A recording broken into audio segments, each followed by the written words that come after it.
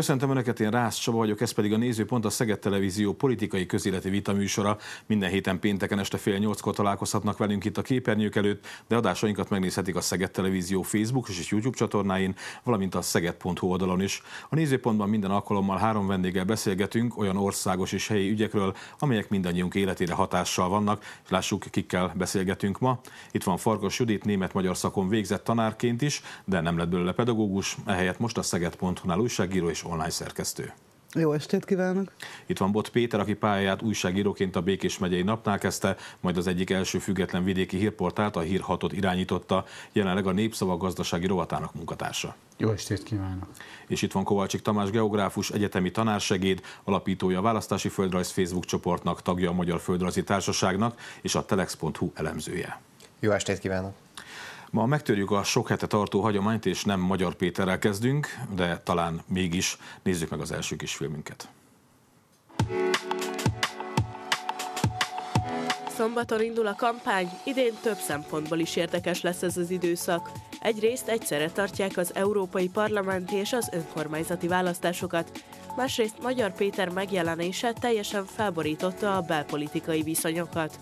Ez a helyzet a magyarok érdeklődését is felkeltette, míg az uniós országokban 60%-os a 2024-es EP választások iránti érdeklődés, addig hazánkban ez az arány 65%. Ez 15%-kal több, mint a legutóbbi 2019-es EP választáson. Magyarország összesen 21 képviselőt küldhet az Európai Parlamentbe, Jelenleg az LP e képviselők közül 13 kormánypárti, a Demokratikus Koalíció 4, a Momentum 2, a Jobbik és az MSP pedig egy-egy képviselőt tudott delegálni 2019-ben. A Europelect közvéleménykutatása szerint idén 11 mandátuma lehet a kormánypártoknak. Magyar Péter új pártja három képviselőt küldhet az Európai Parlamentbe, ahogyan a DK is.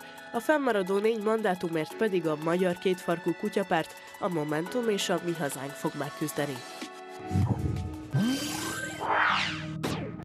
Na hát az európai parlamenti választásokkal kezdjük a beszélgetést, aztán a második részben majd folytatjuk a helyhatóság önkormányzati választásokkal, és elhangzott a bejátszóban ez a nagyon érdekes adat, miszerint ugye általában az európai parlamenti választásokat nem szokta akkora érdeklődés övezni, mint mondjuk egy országgyűlési választást, és most azt látjuk, hogy amire már többször utaltunk ebben a műsorban is, hogy Magyar Péter megjelenése fölkavarta az állóvizet, újra politizálni kezdtek az emberek, érdeklődni kezdtek a politika iránt, és azt mutatja ez a 15%-os emelkedés, tehát soha nem volt ilyen magas a, az egyelőre látható érdeklődés legalábbis az uniós választások iránt. Szerintetek ez valóban egy embernek köszönhető, vagy minek köszönhető ez, hogy most ennyire fontossá vált az emberek számára az, hogy, hogy igenis részt vegyenek az uniós választásokon is? Szerintem a kegyelmi botrányjal is össze, tehát ez az egész történet összefonódik. Magyar Péter igazából, hogyha nem lett volna ez a botrány, nem is biztos, hogy így tudott volna előlépni. Tehát, hogy szerintem ez nem egy embernek köszönhető, hanem az egész helyzetnek köszönhető, ami most itt van.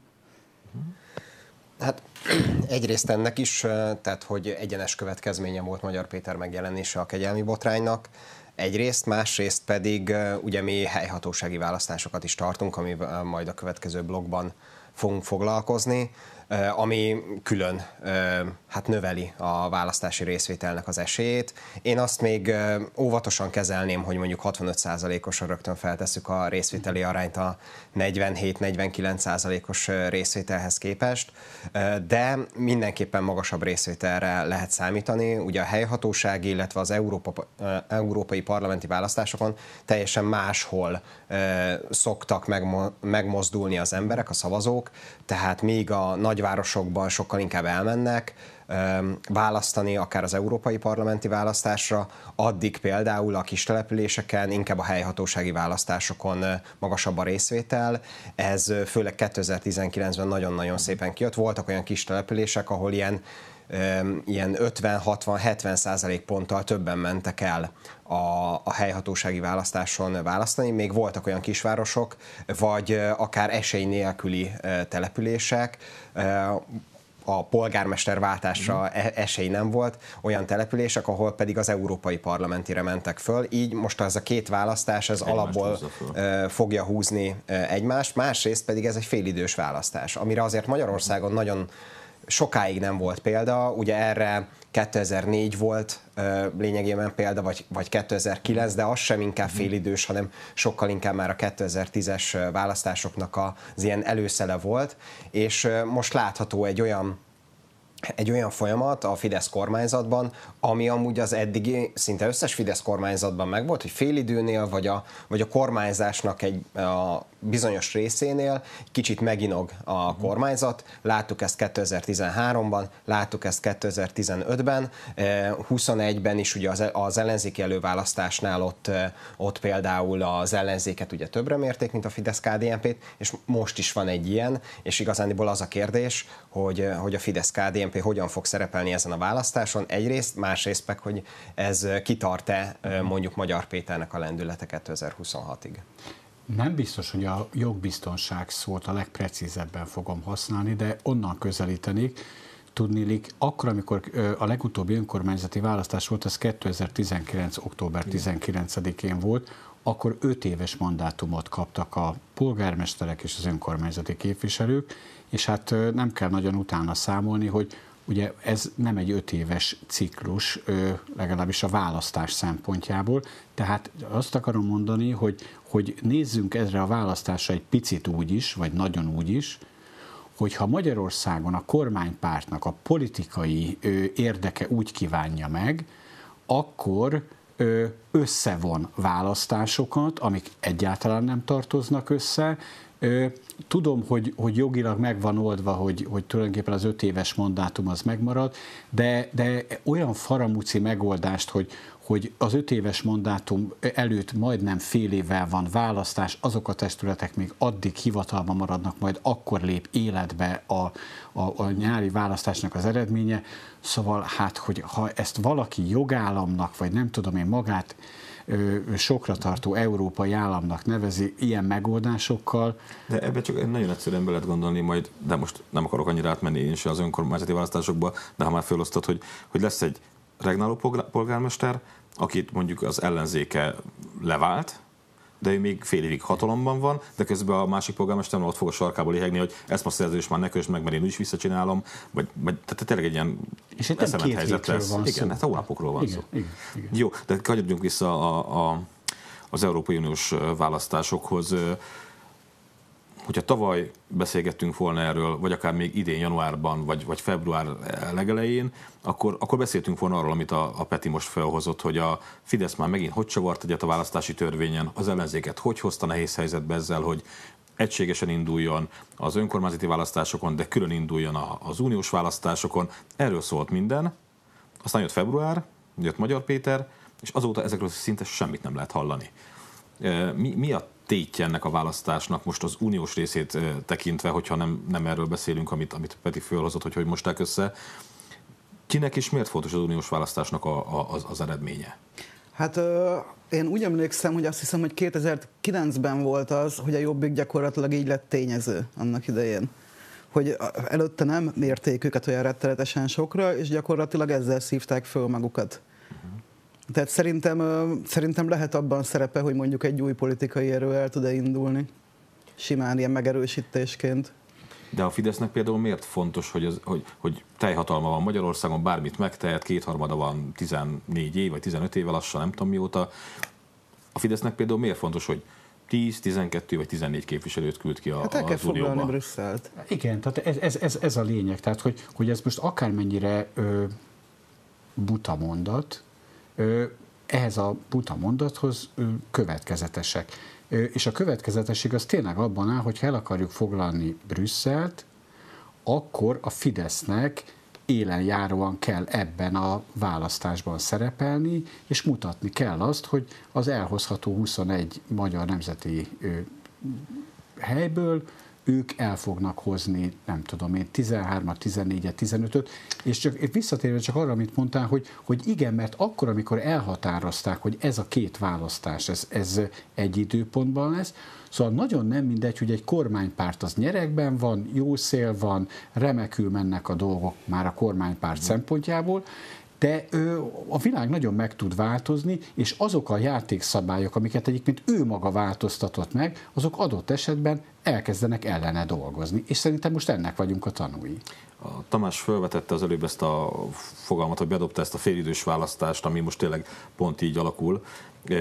Ezt nem csak te vetted észre valószínűleg, hanem, hanem az ellenzéki pártok is név szerint Dobrev Klára például bejelentette, hogy ha a Fidesz bukik az Európai Uniós elveszti. választásokon, vagy elveszti, akkor, akkor azonnal időközi választásokat kell kiírni, tehát... A, hát ehhez a, ehhez a kommentárhoz csak annyit fűznék hozzá, hogy a, hogy eddig a Fidesz-KDNP az európai parlamenti választásoknak a legrosszabb eredményét 2004-ben ellenzékből érte el, akkor 47,4%-ot szerzett, és a jelenlegi euro, euroaktívos felmérésben ugye 11 mandátum néz ki a Fidesznek, uh-huh.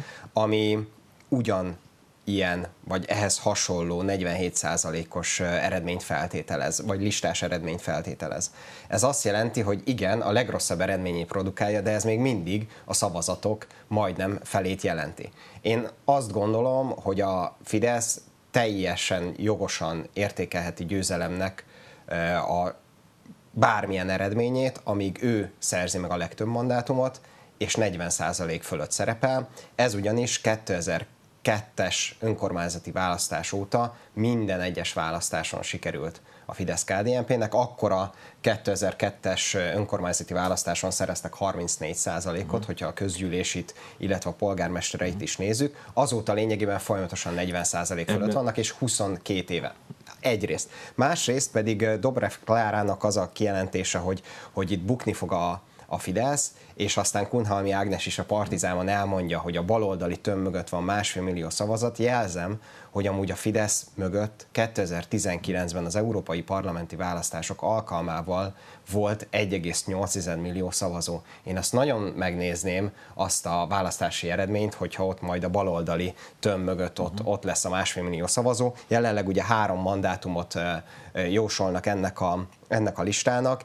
Én nem lepődnék meg, hogyha ez még lejjebb is csúszna, hiszen a a különböző előválasztási eredmények, vagy a mostani folyamatok nem feltétlenül ennek a listának kedveznek, bármennyire is mondjuk van egy kormányzatot kritizáló hangulat, az establishment ellenzéket kritizáló hangulat még erősebbnek érzem a jelenlegi időszakban. Ezt jelzi mondjuk a belvárosi vagy a hegyvidéki előválasztás, de erről majd még később. Jó, akkor beszéljünk még mindig egy kicsit Magyar Péterről. De hiszen, bocsánat, csak igen? Egy, egy mondat, hogy azért az se baj, ha egy politikus, Dobrev Klára értelmezhető dolgot mond. Tudni, ö, szerintem klasszikus értelemben az Európa parlamenti választásokat nem lehet elveszteni. Uh-huh. Tehát itt, nem, itt nem, kell, nem kell parlamenti többséget alkotni, stb. Tehát, hogy nyilván lehet kevesebb mandátumot szerezni, de igazából ennek belpolitikailag olyan fene nagy jelentősége, hát közpolitikai jelentőség, aztán végképp, végképp semmi nincs, és én egy picit párba tudnám azzal állítani, ami szintén a DK-nak egy remek kezdeményezése volt, most próbálok ironikus lenni, amikor a kegyelmi botrány után ugye a közvetlen köztársasági elnök lesz. Tehát megint egy kivitelezhetetlen, megvalósíthatatlan politikai programot vázolnak föl, hát ha az ellenzéknek ennyire futja, akkor, akkor én kezdem érteni az országot. Na, de akkor is szóba hozom még egyszer Magyar Pétert, hiszen ugye ez a, ez a fölmérés azt mutatja, hogy, hogy ő neki három mandátumot jósolnak, és a pártjának, és ebből ugye az látszik, hogy a Fidesz is veszíthet mandátumot, de veszít a Momentum, veszít a Demokratikus Koalíció, tehát itt megdőlni látszik az a mind a két tézis, ugye ami a Fidesz részről elhangzik, hogy az ellenzéktől veszel szavazatot, az ellenzék azt mondja, hogy a Fidesztől veszel, itt ebből az látszik, hogy mindenkitől veszel szavazatot, Igen. és azért egy két hónap alatt létrejövő, kinövő szervezettől egy olyan eredmény, hogyha ezt meg tudják csinálni, hogy három vagy négy mandátumot elhoznak, azért az, az talán példanélküli lehet. Hát de ennek szerintem azért erősen megvannak az előzményei, mert itt most már látni kell azt, hogy van egy olyan réteg, amit szerintem leginkább azzal lehetne definiálni, amit a polgár meghatározás lefed. Ugye volt a Fidesznek régebben egy ilyen bevallottan kamu irányvonala, hogy, hogy akkor rámegy erre a polgári rétegre, meg egyáltalán a polgárnak levésre, és szerintem igenis megvannak ezek a nem, akik nem, inkább, inkább kicsit középen állnak, kicsit hát olyan jobb közép fele, ez a konzervatívabb, de de mégis azért halad, tehát amiben mindegy, amit, amit ugye a polgár alatt az uh-huh. ember érteni szokott, és szerintem ennek a rétegnek már most már egy jó régóta nincsen olyan pártja, amiben bele tudnak kapaszkodni. És szerintem ennek köszönhető ez nagyon nagy részben, hogy mindegyik oldalról veszel szavazatokat, mert eddig ezek az emberek, amelyiket kevésbé érezték gáznak, uh-huh. gyakorlatilag arra szavaztak. Jó, beszéljünk most már a másik választásról is, hiszen Nyilván az uniós választásoknak is van hatása és következménye Magyarországon, de, de a hétköznapjainkra még nagyobb hatása lesz nyilván a, a, az önkormányzati választásoknak az eredményeinek. Úgyhogy nézzünk meg először egy fölvezető filmet, és utána akkor beszélünk erről a másik választásról is. Eldölt, hogy az ország változást akar. Sokan így értékelték a 2019-es választásokon elért ellenzéki sikereket. Mint ismert a fővárosban a 23 kerületből csupán 7 lett Fideszes, és a főpolgármesteri címet is Karácsony Gergelynek, az ellenzéki összefogás jelöltjének sikerült elnyernie. A 23 megyei jogú városból pedig 12-t vezet Fideszes polgármester, a többi 11 ellenzéki irányítású. Gyurcsány Ferenc ezt a választások után úgy értékelte, ha az ellenzék jól teszi a dolgát, akkor 2022-ben visszaadja az országot a saját népének. 2022-ben azonban nagyot buktak az ellenzéki pártok, ami után természetesen mindenki a másikat hibáztatta. Éppen ezért volt érdekes kérdés, hogyan fognak most kampányolni az ellenzéki pártok, együtt vagy külön. Számos megoldást láthatunk az országban. Van, ahol sikerült az összefogás, ilyen Szeged is, ahol a demokratikus ellenzéki képviselők együtt indulnak az Összefogás Szegedért Egyesület színeiben, pártlogók nélkül. Van, ahol az előválasztás segített, Budapesten a 12. kerületben nem várt kutyapárt győzelem született, így az ellenzék képviselője Kovács Gergely lett, míg az 5. kerületben Juhász Péterre szavaztak a legtöbben, így őt indítják a pártok. Van olyan város azonban, ahol nagy csata várható. Győrben például már 8 jelölt is szeretne indulni a polgármesteri pozícióért, az ellenzéki pártok pedig külön-külön jelölteket támogatnak.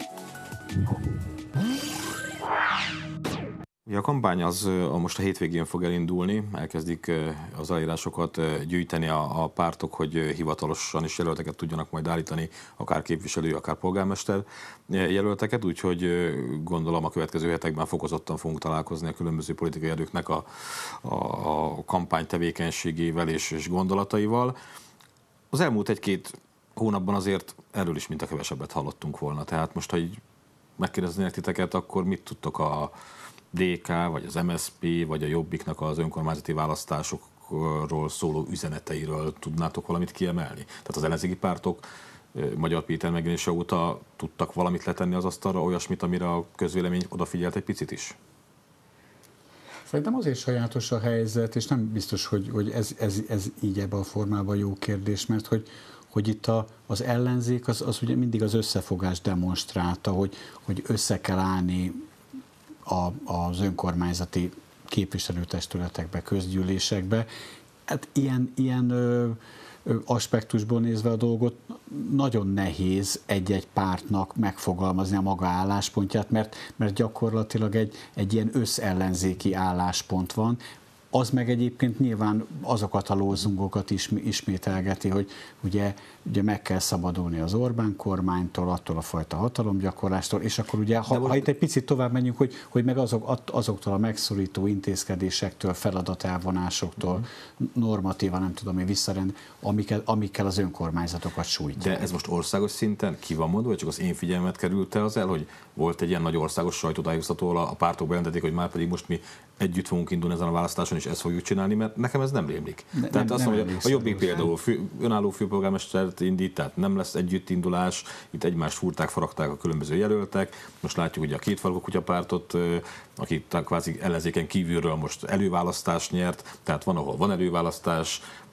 az elmúlt választások után van, ahol egyáltalán nincs. Tehát én nem látok semmiféle egységességet most így a, a bel, ellenzéki belpolitikában.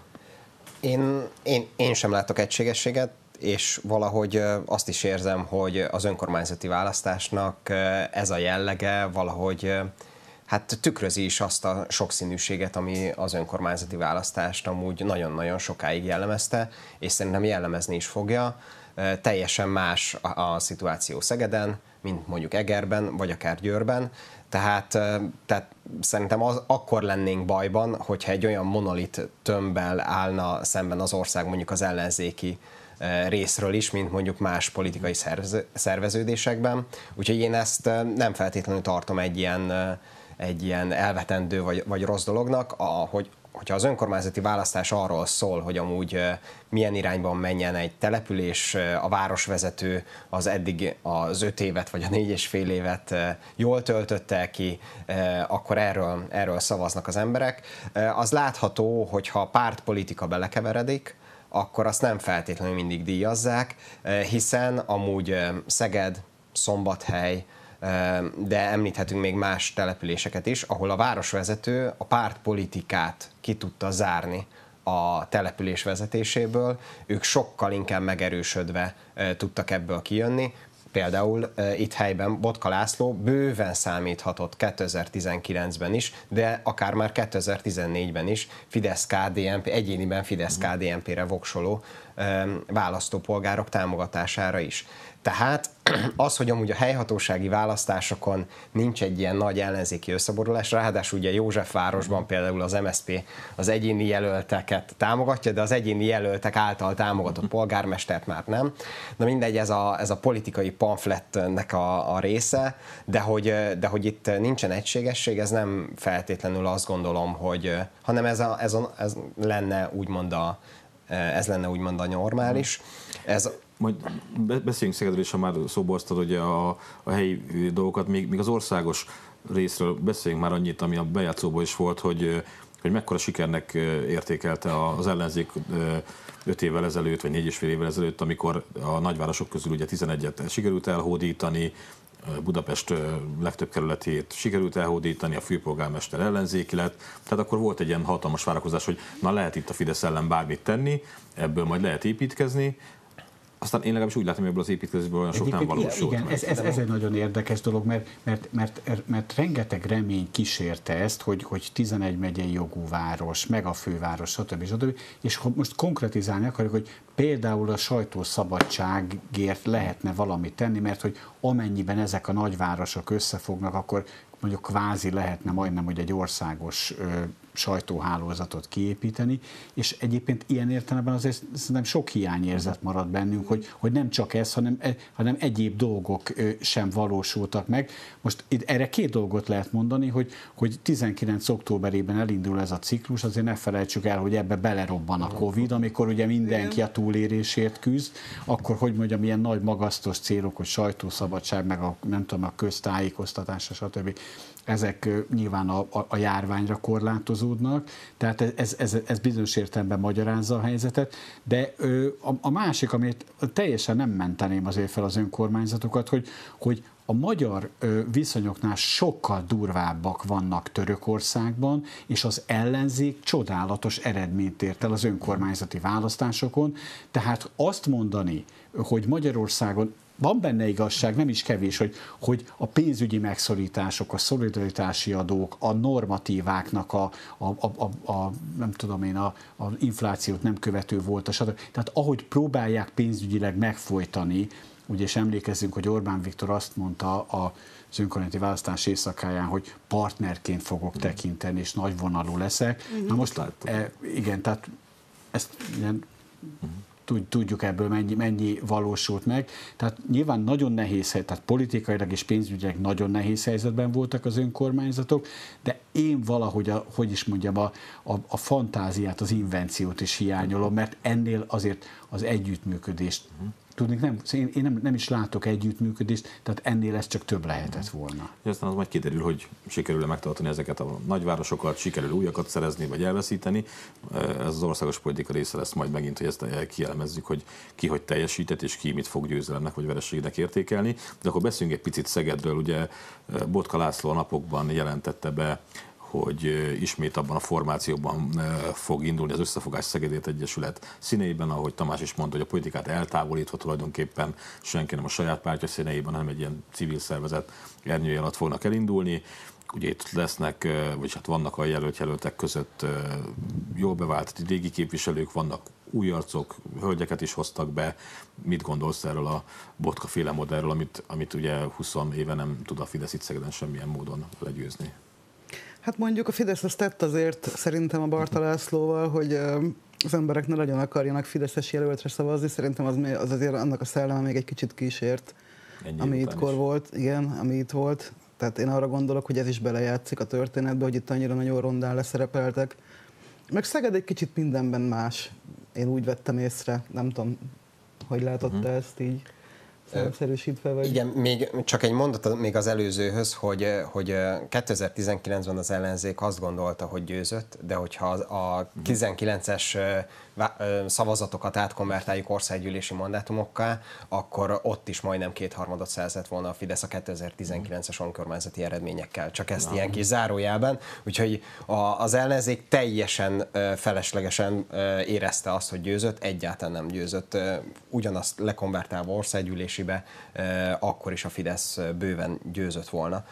Visszatérve Szegedre, én azt látom, hogy a, ez a város amúgy 22 éve vezetve van, és egy koncepció mentén van vezetve, szakemberek vezetik ezt a, ezt a települést, és, és vannak olyan projektek, amik hosszú távú tervezésnek az eredményei, itt csak kiemelném mondjuk a geotermikus uh-huh. fűtési rendszernek a megvalósítását, hatalmas projekt, hatalmas beruházás, irgalmatlan mennyiségű pénz, és meg is térült az energiaválság. uh-huh hatására, tehát egyáltalán nincsen rászorulva mondjuk a város a foszilis tüzelőanyagokra ahhoz, hogy egyáltalán fűteni tudja, és ez csak egy a sok közül. És a levegőszennyezésről nem beszélve, ami mennyivel csak. Mondjuk itt azért tegyük hozzá, hogy ráadásul szerintem mondjuk a közvéleménynek az sem nagyon tetszik, amikor tesz azért egy város, hogy környezetbarát legyen, hogy olcsóbb legyen az energia, minden szempontból egy használható modellt vezessenek be, és utána meg mondjuk a, az állami gázcég elkezdi büntetni a várost azért, mert a távhő kevesebb gázt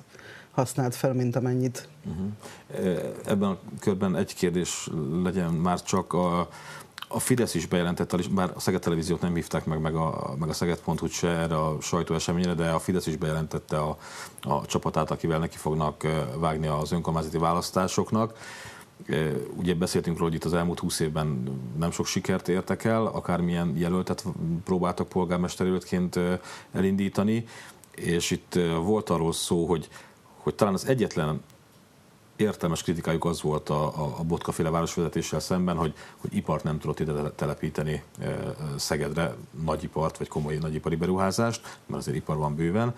De most a BYD-vel, meg a Rheinmetállal még talán ez, ez az ütő, ütőkártya is eltűnik, hogy mit gondolsz erről, Peti? Hát egy, az, azt, azt gondolom, hogy mindenkinek lehet szerencséje, így a szegedi városvezetésnek is, mert, mert túl, de a szerencsére meg kell dolgozni. Tehát tényleg az, hogy, hogy ingatlanos szakemberekkel beszélgetem, tehát ipari ingatlanokkal foglalkozókkal, ők egyértelműen azt mondták, hogy Magyarországon nem nagyon tudnának még egy 300 hektáros olyan adottságú területet mondani, ami, ami Szegeden található, és amit a BYD választott. Ugye azt pontosan tudjuk, és ebben a körben is beszéltünk róla, hogy a kormány az akkor, amikor ugye bejelentették, hogy jönnek a kínaiak, és itt egy hatalmas nagy autógyár lesz, akkor ugye úgy látszott, hogy, hogy egy, egy teljes nézetazonosság és együttműködés van a kormány és az önkormányzat között. Hát akkor már az volt, de, de azért a, a, a háttérben lehetett tudni, hogy, hogy a kormány nagyon sokáig, nagyon sokat megtett azért, hogy, hogy ne Szegedet válassza a, a BYD.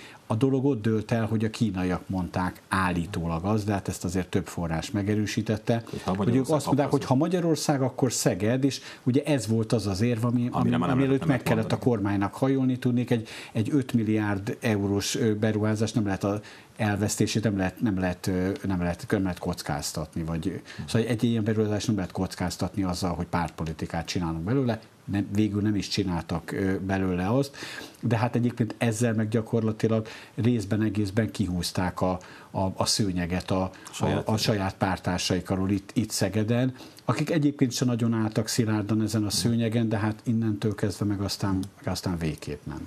Hát, a polgármester jelöltben egy kicsit látom ezt egyébként, hogy elengedték Szegedet. Uh-huh.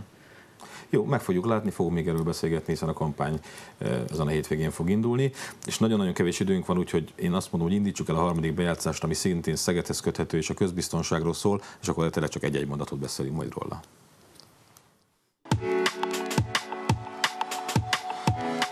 Szeged 2023-ban is az ország legbiztonságosabb városai közé tartozik, derül ki a Szegedi Rendőrkapitányság 2023-as bűnügyi statisztikáiból. A közterületen elkövetett garázdaságok és erőszakos bűncselekmények száma is jelentősen csökkent. Ez a Szegeden működő térfigyelő kamerarendszernek is köszönhető. Az elmúlt hónapokban ezért az eddigi 168 térfigyelő kamera mellé újabb 89-et helyeztek ki.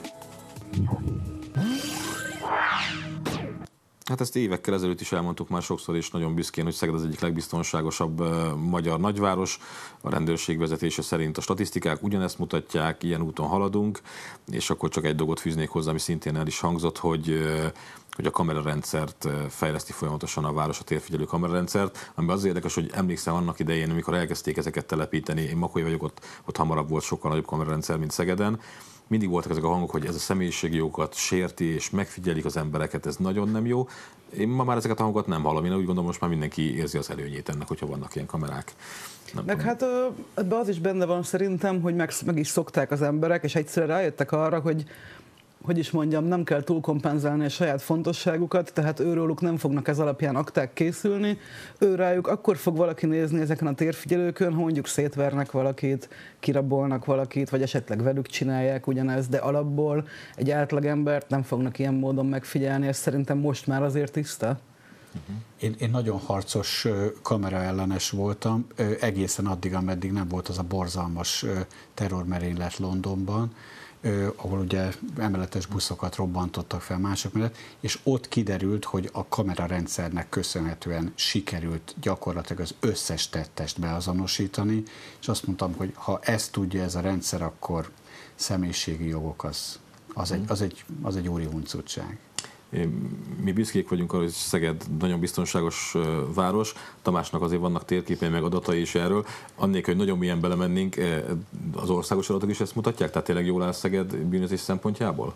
Igen, alapvetően azt lehet látni, hogy, hogy ahogy megyünk lefele a település hierarchiában egyre kevesebb a 100 főre vetített bűnözési ráta, tehát ennek megfelelően Budapesten a legmagasabb 2,53, megyei jogú városokban átlagosan 1,9, ez, a, ez az érték, és Szegeden ez pedig 1,3, uh-huh. ami, ami a negyedik legjobb amúgy a megyei jogú városok tekintetében.